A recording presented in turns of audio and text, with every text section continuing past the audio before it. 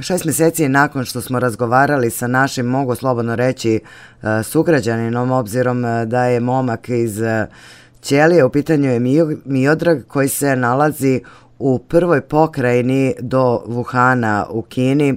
Ti ćeš mi reći ponovo koja je, ovaj, nisam sigurna da li sam dobro zapamtila. Prvo, dobar dan. Dobar dan, vama i svim slušalcima radija KIS. Razlog zašto smo mi tebe pozvali jeste da nam ispričaš iz prve ruke kakva je trenutna situacija u Kini kada je u pitanju COVID-19. Hajde da kažemo da je situacija pod kontrolom. Kina je ovaj, po mom mišljenju ispala jedina ozbiljna država koja je rešila problem covid Stvari funkcionišu normalno, bar u mestu gde sam ja. Sve funkcioniše, ništa nije zatvoreno, ne postoje neke posebne mere. To samo možda pred nekim većim objektima stoji kao preporuka da se nosi maska. Znači nije u obavezi, Mislim da je samo ovaj u gradskom prevozu obavezno nošenje maski, ali što se tiče ostalih stvari fun sve funkcioniše normalno. Da podsjetimo naše slušalce i gledaoce ukoliko su zaboravili, radiš kao nastavnik u Kini, je li tako? Tako je, učitelj engleskog. A, koliko dugo nisi radio dok je trajala pandemija i da li je to uh, zvanično završeno? Pa praktično kad su lekari, kad su lekari u Wuhanu ovaj, onako svečano skinuli maske, tad je u stvari proglašena pobeda nad, nad ovaj, covidom. Mi nismo radili četiri meseca. Možemo reći da je Kina na neki način stavila sve pod kontrolu i već dugo je na snazi zabrana ulaska stranaca u Kinu. Od skoro su dozvolili da samo oni stranci koji imaju radne vize mogu da se vrate u Kinu. Ali što se tiče covida, Mislim da nisam siguran, nemam tačan podatak, ali možda nekih 15 do 30 novih slučajeva dnevno ima. Ovaj, kada se to poredi sa brojem zaraženih u svetu gde prelazi preko 1000 na dan, možemo reći da je to ovaj odličan rezultat.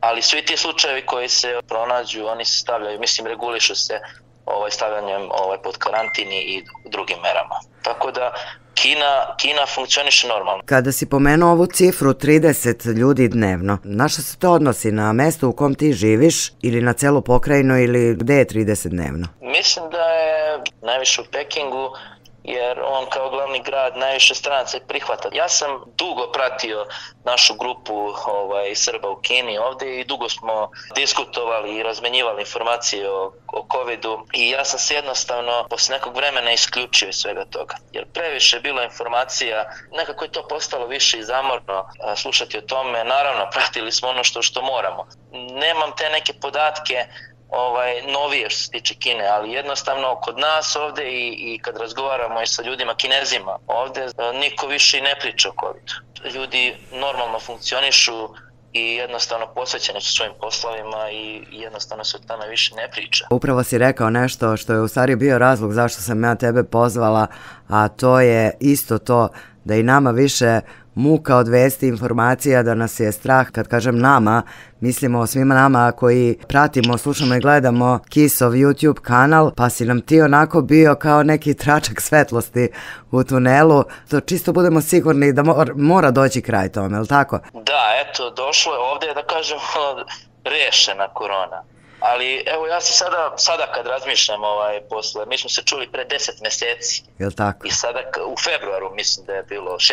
februara, tako nešto. Da. Ovaj, I sad kad razmišljam, sve se nekako vraćam ovaj, za one, uh, vreme karantina. Mislim da je stvarno taj karantin imao smisla konačno ovde da reši taj problem. U nekim gradovima je bio, znači, ono, bili su zatvoreni gradovi, a negde su bile samo preporuke ove vlasti da ljudi ostanu ovaj kod kuće i mislim da je to u stvari rešilo ovaj problem korone. Mislim da je tad virus iščezao. Iskreno meni je i dalje neshvatljivo ovde ovaj živi milijardu i 400 miliona stanovnika i da je problem, ajde, hajde da kažemo, rešen. Preko leta ovaj, znam da su čak i održavane neke žurke na otvorenom u Wuhanu. Kako je sada moguće da se tamo sada sve regulisalo? Jedina ovaj, solucija je taj karantin koji je ovde uh, ispoštovan na strane naroda. Mislim da je to rešilo stvar. Kina sada funkcioniše normalno bez ikakvih problema, što se ne može reći za druge države, jer E, Kina je mogla da izdrži, e, kineska privreda je mogla da izdrži tu, tu, tu zatvorenost, što se ne može reći za većinu drugih zemalja. mislim da je karantin rešio ova korona ovde. I znači što su svi ispoštovali.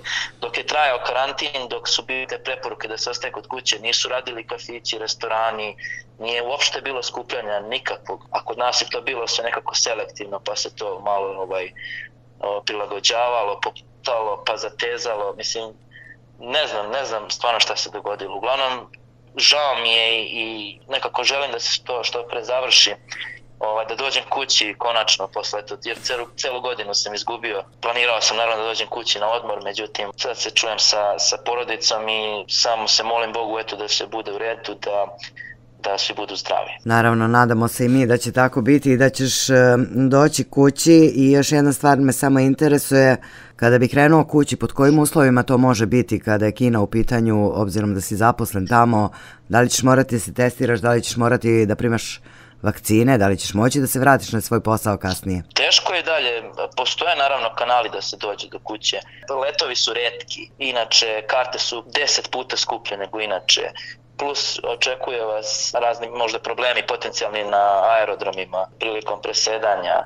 Sad se i, i vakcina, evo, Rusija i Britanija kreću sa vakcinisanjem. Australija ima ovaj, neki uvela je neko pravilo gde ljudi mogu da putuju samo unutar zemlje, a svi koji dolaze, svi međunarodni letovi, ljudi moraju da imaju neku vrstu potvrde da su primili vakcinu. Mislim da će i ostale zemlje da prihvate taj model ovaj, polako. Naravno, postoji mogućnost da dođem kući, ali rizikovao bih da ne mogu da se vratim. Iako posjedujem radnu vizu, mislim da Kina to vrlo preko noći praktično može da odluči da zabrani državama koji imaju prevelik broj zaraženih, da im jednostavno zabrani ulazak iz te zemlje.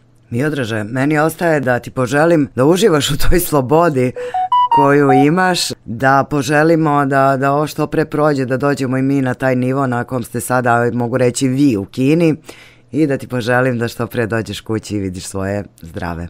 Hvala vam, ja vama želim dobro zdravlje i čuvajte se i ne sumnjam da ste odgovorni što se tiče ovaj tog ponašanja ovaj u skladu sa merama i nadam se eto eto osjećam nekako da će doći kraj ovome vrlo brzo. Već možda početkom naredne godine. Eto, ja moram onu našu uzrečicu iz tvojih usta u Božje uši i da će sve to biti u redu i da će sve ovo vrlo brzo biti prošlost iza nas.